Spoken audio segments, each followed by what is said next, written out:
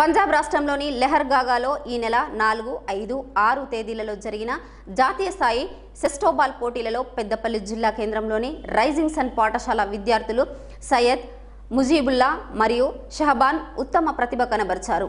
జాతీయ స్థాయి సెస్టోబాల్ పోటీలలో ఉత్తమ ప్రతిభ కనబరిచి తెలంగాణ రాష్ట్ర జట్టుకు మంచి పేరు తీసుకువచ్చిన రైజింగ్ సన్ పాఠశాల విద్యార్థులను జిల్లా కలెక్టర్ సంగీత సత్యనారాయణ అభినందించారు. ఈ కార్యక్రమంలో పాఠశాల కరస్పాండెంట్ సయ్యద్ అహ్మద్ హెచ్ఎం హకీం ఖాన్ వ్యాయామ ఉపాధ్యాయుడు తిరుపతి